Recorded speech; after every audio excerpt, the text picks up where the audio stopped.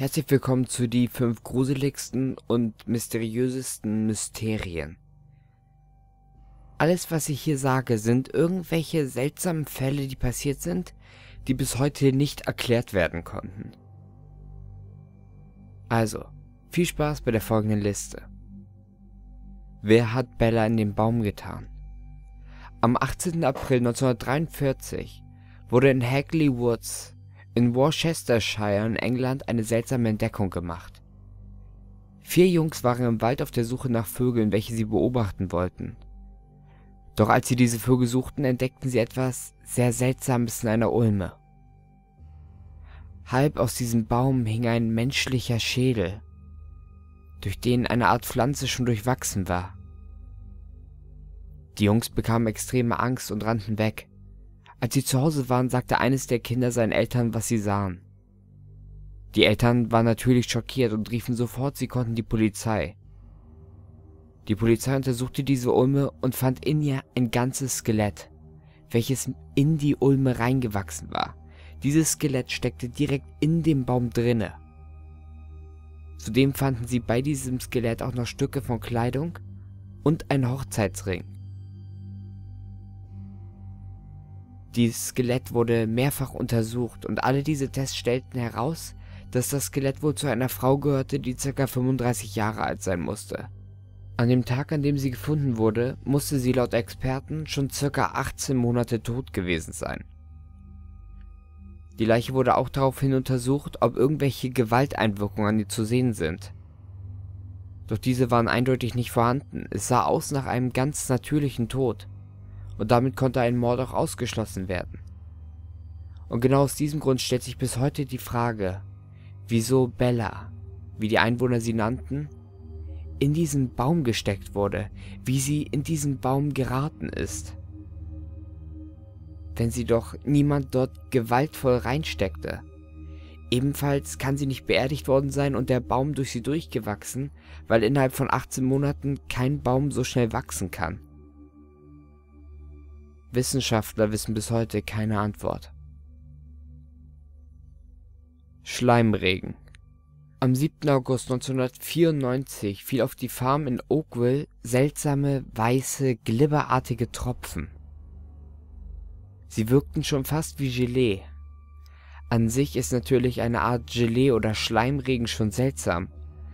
Doch die Sache wurde noch ein bisschen seltsamer, als sich herausstellte, dass genau diese weißen Tropfen menschliche Bestandteile hatten.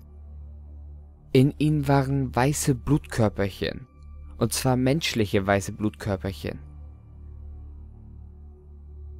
Viele Wissenschaftler sagen allerdings, dass dies nicht wahr sein kann, weil man sich bis heute nicht erklären kann, wie menschliches Blut in diese Tropfen reinkommen könnte.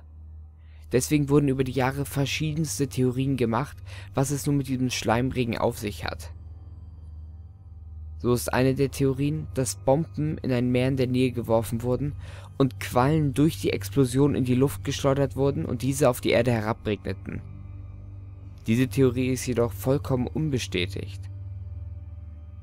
Bis heute weiß man nicht genau, was es mit diesen Tropfen auf sich hat. Doch manche Experten meinen, dass diese Tropfen alle mal Menschen gewesen sein könnten. Irgendwelche Biowaffentests wurden von der Regierung dementiert. Der Tamam-Shud-Fall Im Dezember 1948 wurde ein Mann tot am Strand in Adelaide, Australien gefunden. Die ersten Untersuchungen von diesem Mann ergaben keinerlei Antworten, wer der Mann wirklich war. Sie fanden keinerlei Hinweise, auch als sie seine Zahnakten kontrollierten, konnten sie keine Daten über ihn finden. Die Autopsie vom toten Mann bestätigte, dass er vergiftet wurde und auch daran starb, also war es ein klarer Mordfall. Lange, lange Zeit, wo es untersucht wurde, gab es kein Ergebnis, und so wurde mit der Zeit dieser Fall auf Eis gelegt. Bis John Cleland, ein Professor, die Leiche erneut untersuchte. Er entdeckte etwas Besonderes an der Kleidung der Leiche. Und zwar war in dem Hosenbund der Leiche eine geheime Tasche versteckt welche vorher anscheinend übersehen wurde. In ihr lag ein klitzekleiner Zettel, auf dem die Worte Taman Schutz standen. Diese Wörter sind die letzten Wörter einer persischen Poesiesammlung. Und diese Wörter bedeuten, es ist vollendet. Das Buch, aus dem diese Worte stammen, wurde in einem Auto in der Nähe vom Strand gefunden. In diesem Buch stand ebenfalls eine Telefonnummer. Als sie diese Telefonnummer dann anriefen, stellte sich heraus, dass sie einer Krankenschwester gehörte. Sie sagte, dass sie einem Patienten dieses Buch mitgab, und zwar einem Patienten namens Albert Boxell. Alle dachten, dass der Fall mittlerweile dann gelöst ist. Als sie dann der Familie von Albert Boxell die traurige Nachricht überbringen wollten, fanden sie etwas Merkwürdiges heraus. Albert lebte noch. Und er besaß auch noch sein Buch. Und in diesem Buch fehlten auch keinerlei Worte. Bis heute wirft dieser Fall Rätsel auf. Wer ist tatsächlich der Mann, der da lag? Wieso stand die Telefonnummer der Krankenschwester in dem Buch?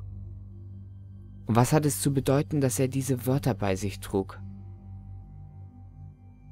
Es gab auch ähnliche Fälle. Und die Polizei weiß bis heute nicht, was es wirklich hiermit auf sich hat. Doch wenn es sich um einen grausamen Mörder handelt, der einen Plan verfolgt, ist er immer noch auf freiem Fuß. Wer hat Isidor Fink ermordet? Isidor Fink war ein polnischer Immigrant in New York.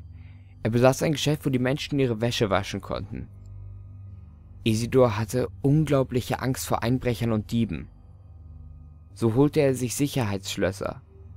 Er verschloss alle Türen und Fenster fest, er vernagelte sogar aus Angst die Fenster. Es war unmöglich, in seinen Laden einfach reinzukommen.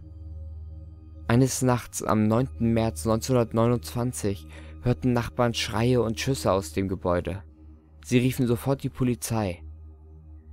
Als diese allerdings ankamen, bemerkten sie, dass alle Türen von innen verschlossen waren und die Fenster weiterhin vernagelt. Es gab nur ein wirklich winziges Fenster als Möglichkeit in das Haus zu gelangen. Dieses Fenster war allerdings ebenfalls verschlossen und gerade mal groß genug für ein Kind. Als sie die Tür öffneten, bemerkten sie, dass Isidor tot am Boden lag, und zwar mit zwei Einschusslöchern. Mittlerweile gibt es zwei Theorien zu diesem Fall.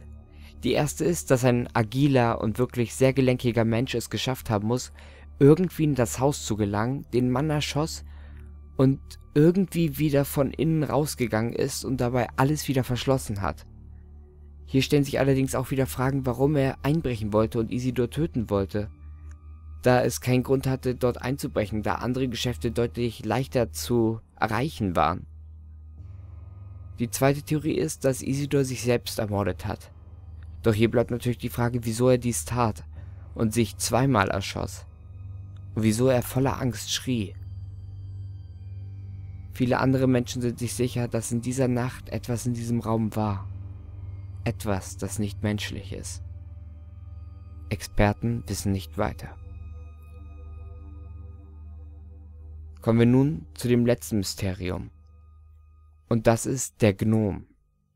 In 2008 entdeckte José Alvarez etwas sehr Merkwürdiges in seinem Garten. Und zwar einen kleinen, menschenähnlichen Gnom, der draußen im Gestrüpp herumlief. José selbst filmte alles mit seinem Handy und stellte dieses Video auch auf YouTube. Er sagte in einem Interview später, dass er mit Freunden unterwegs war und sie plötzlich etwas Seltsames hörten. Sie hörten Geräusche, als würde jemand mit Steinen werfen. Und dann sahen sie, wie sich etwas im Gras bewegte und sie dachten, es handelt sich wohl um einen Hund. Als sie dann aber genau das Gras untersuchten, entdeckten sie eine gnomartige Figur, die langsam durch das Gras ging. In dem Heimatort von José wurden schon häufiger seltsame Gnomwesen gesichtet. Experten nahmen bereits Spuren von ihnen auf, wie kleine Fußabdrücke, und sie untersuchten auch die Orte, wo sie gesichtet wurden. Die Polizei weiß heutzutage nicht, wer oder was durch Salta in Argentinien geht. Sicher ist aber eins, und zwar, dass es nicht normal ist.